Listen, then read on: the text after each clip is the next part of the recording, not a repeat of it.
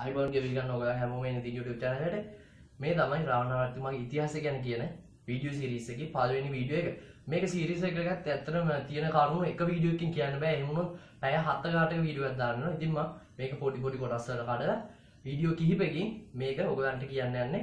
ඉතින් ඒහින්ද ඔගොලෝ කැමතින චැනවගේ සබස්ක්‍රයිබ් කරන්න. මොකද එතවට මං මේක සම්බන්ධ වීඩියෝකක් දාපු ගම ඔගලන්ට බලාගන්න පුළුවන්. එහෙනම් අපි වීඩියෝකට යන්න.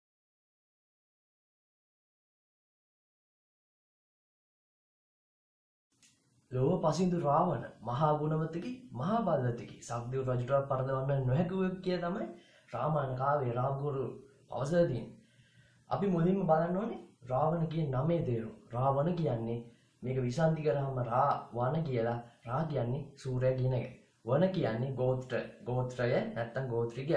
ඒ අනුව රාවණ කිය නමේ තේරුම සූර ගෝත්‍රිකය. හැබැයි අදරත් ඔබල දන්නේ රාවණරත්තුමා ගැන යක්ෂ ලංකාවිට යක්ෂ ගෝත්‍රික ඉතින් මේ මතේ මං ඔගලන්ගේ ඔල්ව තියෙන මේ මැටි දියගන්න ඕන මේ මතය ඔගලන්ට ඔල්ුවෙන් අයින් ගන්න ලංකාවිට යක්ෂ රාවණ රත්තුමා කියන යක්ෂය කියන එක ඔගලගේ හිතින් අනිවාර්යයෙන්ම අයින් කරලා තමයි මේ වීඩියෝ සීරීස් එක ඉස්සරහට කරගෙන යනවා. ඉතින් රාවණ රත්තුමාගේ පවුල විස්තර අනම්මනම් විස්තර කියන කලින් රාවණ රත්තුමා යක්ෂයෙක් නෙමෙයි.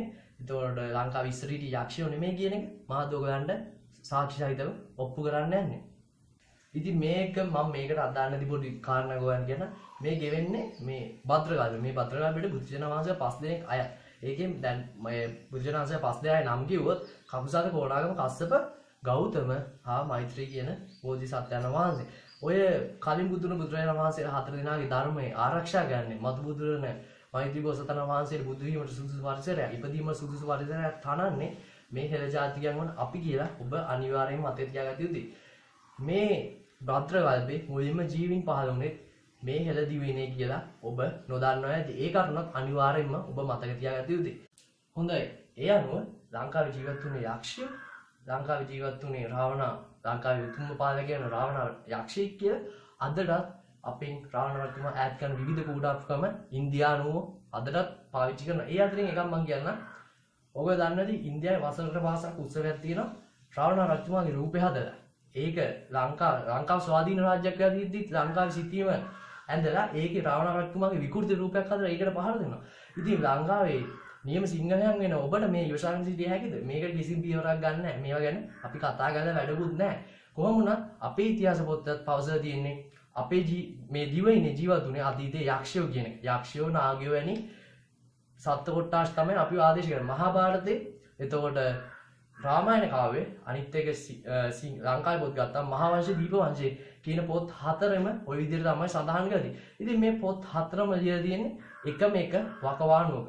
මේ වකවානුවේ අනිවාර්යයෙන්ම ආගමික ඇදහිලි, ඒ කියන්නේ ආගමික බලපෑම්, රාජ්‍ය බලපෑම් මත තමයි මේ පොත් ලියලා තියෙන්නේ. ඒ කියන්නේ මේ පොත් තනිකර ලියලා තියෙන්නේ මේ පොත් වල තියෙන්නේ ගොඩක් ඇත්ත නෙමෙයි. උපමා ගොඩක් දාලා ලියපු පොත්. මේවා ඇත්ත නැත්ත අපි අන්ධ භක්තිකයෝ නොවේ නියම විදිහට විසඳ ගන්න ඕනේ. ඒක තමයි නුවණ පාවිච්චි කරනවා කියන්නේ.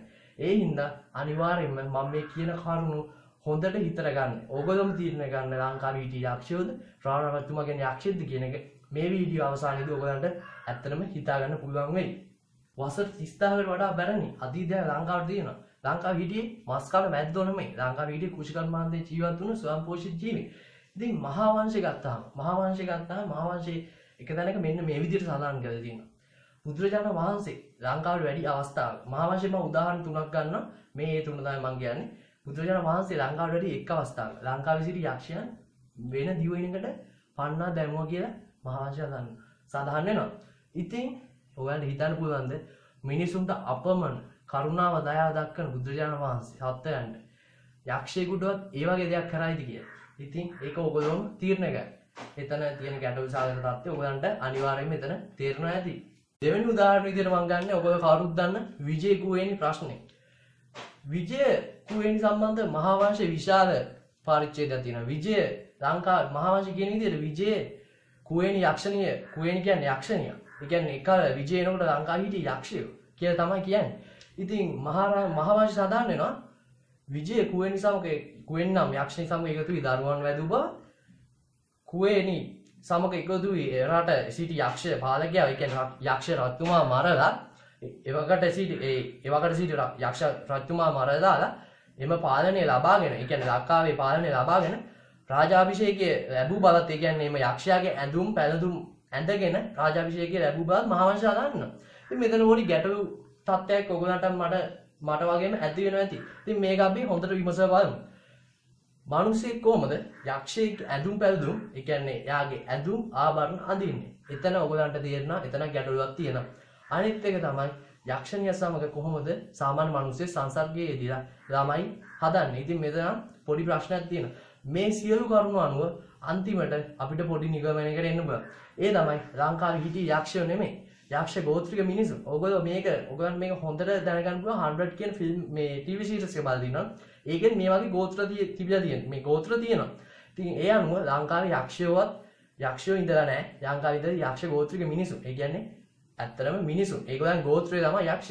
තුන්වෙනි උදාහරණ විදිහට මම ගන්න බුදුරජාණන් වහන්සේ කැලණියට වැඩම වෙලාවක කැලණියේදී නාගයෝ 500ක් දෙනා බුදුරජාණන් වහන්සේ ඇතුළු පිරිසට දන් පිළිගන්නවා දෙනවා. මෙතන මහාවංශිකයේදී නොවිද. නමුත් මේක නිවැරදි වෙන්න ඕනේ නාගයෝ නෙමෙයි නාග ගෝත්‍රික මිනිසුන්.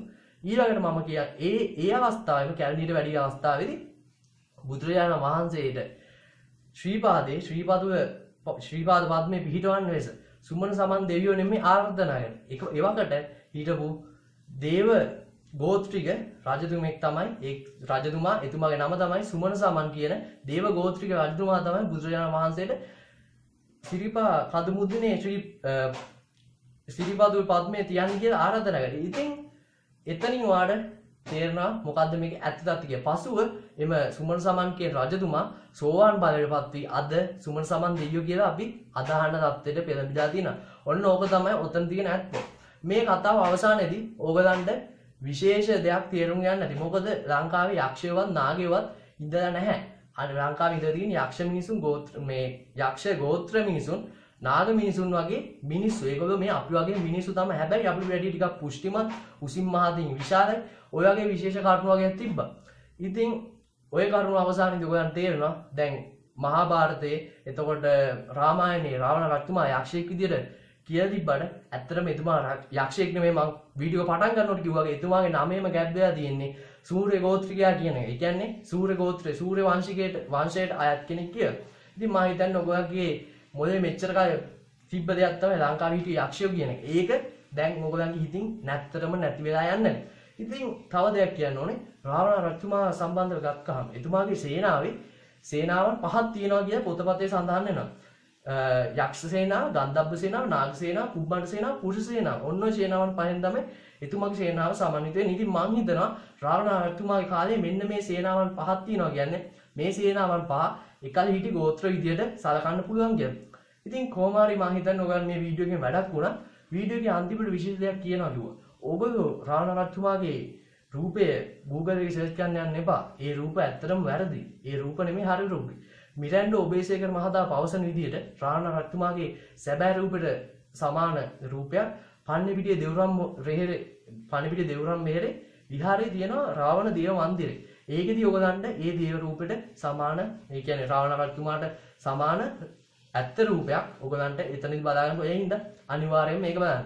අනිත් එක්ක කියන්න ඕනේ ලංකාවේ මිනිස්සු දෙවිගොල්ලෝ ඉන්දියාවේ දෙවිගොල්ලෝ 32 කෝටියක් අදහනවා. ඒ වුණාට ලංකාවේ ඉන්න රාවණ රජතුමාව අනිවාර්යයෙන්ම එතුමාව බැහැර කරලා දින්න එතුමාව පාගලා දානවා. ලෝකේ ඉන්න ඕනම රටක් ලෝකේ ඉන්න බලවත් රටවල් හැම එකම අදටත් එතුමා රාවණ රජතුමාව ඒගොල්ලන්ගේ ජාතිය එක්ක පිළිගන්න මේ දැන්ට සූදානම්.